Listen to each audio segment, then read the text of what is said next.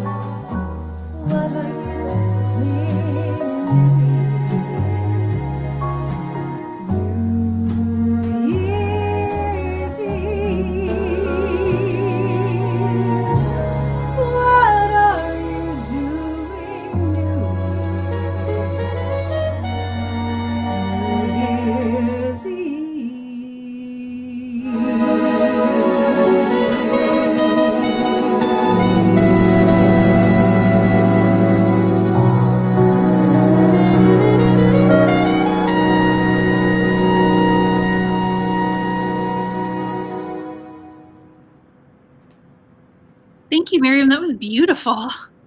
So, what are you doing New Year's Eve? Um, I'm going to be with my kids. We're going to have a lovely night, just the three of us. That sounds perfect. Well, I will let you get back to them. Thank you so much for joining us tonight. Thank you so much. And thank you to all of the rest of you who joined us this evening. Please come back again tomorrow at 7 for a wonderful piano piece. Be safe and warm and have a wonderful evening.